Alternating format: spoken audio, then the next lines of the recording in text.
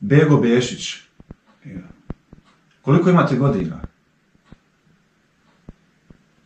1946. godine. 46, to je 70 i... Koliko? 5, 6? Pa ja sam godište kao godina. Dobro. Bego, Ja. e, moja posjeta e, vama tiče se vašeg djetinstva iz razloga tog što je danas prvi dan e, Ramazanskog Bajrama. I mene zanima kako ste vi kao dijete u vaše vrijeme dočekivali Bajram kao islamski blagdan, kao nešto što je e, veoma bitno za sve bošnjake, muslimane u Bosni i Hercegovini i širom svijeta. Kao i, kao i sada djeca. I prije su djeca bila i radosna Bajramu, pa samo su što i sada zadovoljniji nego prije. Kako mislite zadovoljniji nego prije? Pa to prije, Danas imaju mobitel, a prije nisu imali, šta? prije samo bile kocke šećera, sad, sad su i čokolade i sve. Kako mislite kocka šećera? Dođete na vrata, tradicija u Bosni jeste pokucate na vrata, Pa ja, kocku pozdravite čestit Bajram i dobijete nešto, jel? Jes, kocku šećera. Ili, Kocku šećera. Pa ja, šta ima? Jaje. I vi ste bili zadovoljni kad Pa dobijete kocku biti šećera. zadovoljan, dio šta ćeš. Pa jeste tada znali za čokoladu? Nismo. Ja nisam, pa sad možda i neko bio zadovoljan. A zašto vi niste? Pa nisam je ni, ni, ni vidio, ni, ni, ni znao kako ću znati. Nisi je- vidio je- na je televiziji, nisi vidio u prodavnici, ništa. U prodavnici bio dućani, bili, kava, šećer, sovi, gotovo. I to je to. Pa ja, A, a dobro, a recite mi, ovaj, pa je bilo onda one osnovne životne namirnice? Hljeb, mlijeko, brašno, meso. Hlijeb ja nisam iz prodavnice nikad to mio. A ne, mislim uopće, u kući, kod kuće, jel se imalo tada? Pa kod kuće je se pravilo hljeb, Dobro, a nije nedostajalo. nije nedostajalo. Mhm. Nekom jest, nekom nije. Koji htio raditi, nije mu nedostajalo. nije. Koliko ste vi imali braći i sestara? Koliko vas bilo djece kod oca i majke? Petar, živi je, Mhm. Živije. ostao ja. Dobro, a sve ukupno? Ukupno ima 13. 13 djece. Koliko braća i koliko sestara? Možete se Dva, sjetiti? dva brata i dvije sestre. Trojica nas braći i dvije sestre smo ostali živi. Ono, mrlo su većinom sestre. Ja sam prvi muško bio. Aha. A, Zapravo od muškinja. Sve starije od mene, to je mrlo. a sad mi nije, malo mi pojasni, to umirala su djeca. Ja. Kako mislite umirala? Od čega? Pa O- vaša sestra i braća su umirala kao djeca, jel? ja, ja, Od koliko godina? sve treće da se rodi, jedno umri prvo. A šta je razlog tome Pa ko, ko zna šta je bilo. Je vladala neka bolest, nemašina? Nije bolest, nego eto, bilo tako da nekom se nekom se ne da u, u nečem, nekom u nečem. E tako to. Nije, Aha. nije se, I nije se, ja koliko sam vas nije shvatio... se pod, podalo, kako kaže se. Pa, Da. Ja koliko sam vas shvatio, uh, kod vaše majke i i svako treće dijete, Umiralo, Umiralo. dok nisam ja se rodio. dok se vi niste rodili. Ja. A poslije vas, Ja sam treći, dvije sestre starije, ja sam treći bio i posle, posle mene jedna sestra. koja se sjećate vi, koje ste dijete po redu bili?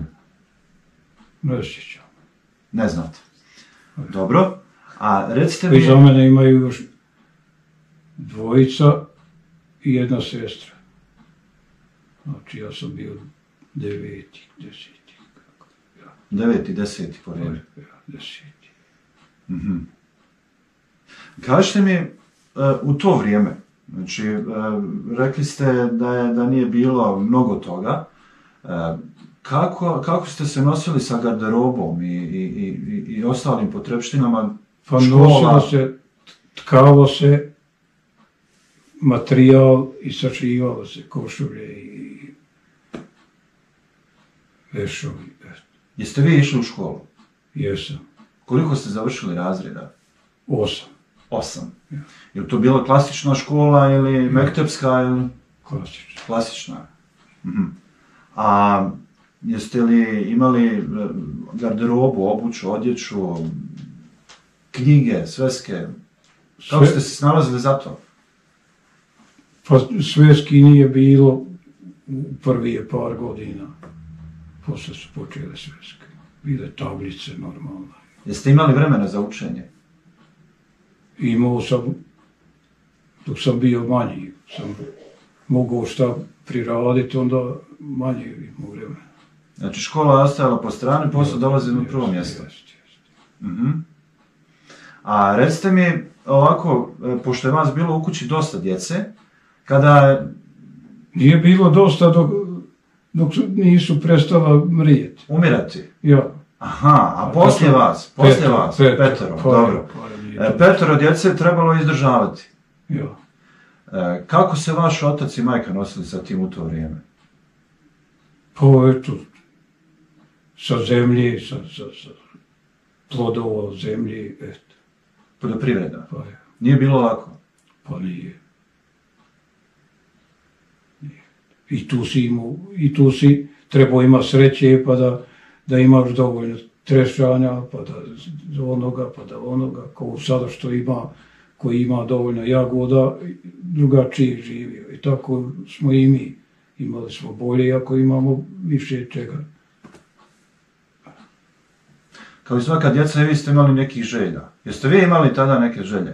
Da ste nešto željeli, a da vam roditelji nisu mogli da, da daju? Pa nismo, Ili niste ni imali vremena da razmišljate o Ni, tome? nisam. Nisam imao želju da imam biciklo kad nisam ni viđao nigdje. Nisam ono, ono, što nisi viđao nemaš ni želje. Nisi ni znao za to da postoji, jel? Želja imaš konja, vola i krave i to. eh. A dobro, a šta je bila vaša želja u to vrijeme? Kao dijete? Jeste vi imali neku posebnu želju? Da ste nešto željeli, ali znali ste da to postoji? Imao želju da kad vidim stara čovjeka da mi je biti naki čovjek. Kako mislite onako? Oni sa štapom. Star, da dočekate starost? Je, je. Zašto? Nemam pojma, uglavnom sviđalo mi se stariji čovjek kad ide ovak sa štapom i tako. i- I da mi je bit nakir. A, ja- a ja malehan, kad ću bit? Ne moraš se malehan napraviti da si, da si onakav stari. A dobro, ti ljudi su vjerojatno kod Ja- vas ostavljali neki poseban Ja, dojam. a ja nisam, na primjer, znao kako to se ostari.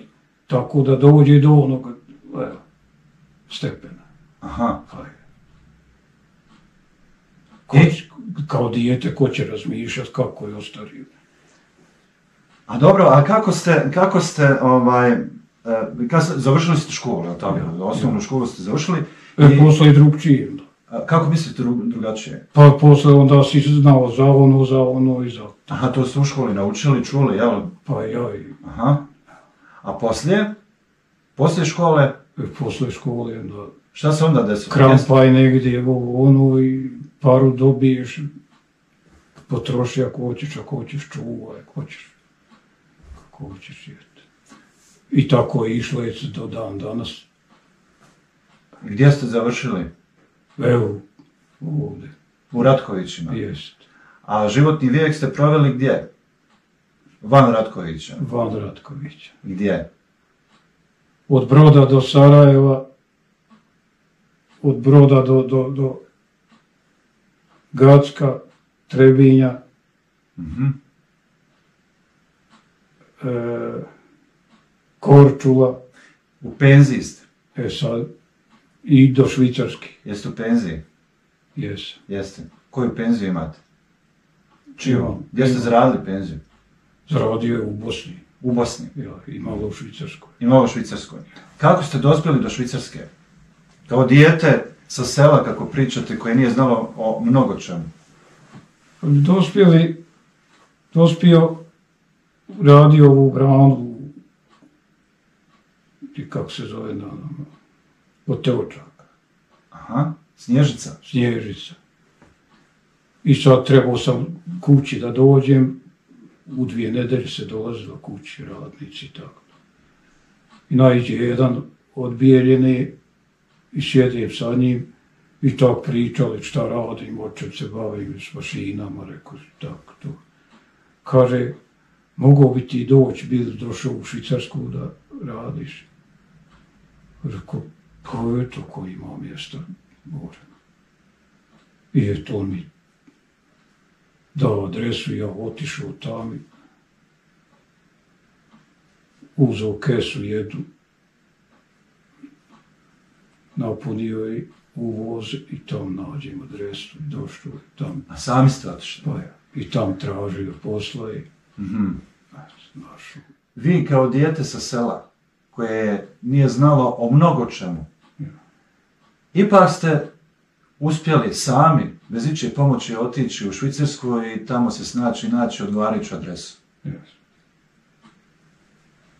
I prvi dan pošalju me da kaže, evo ti taj, taj bager, na tovari, na kamion ga i iđi, radi.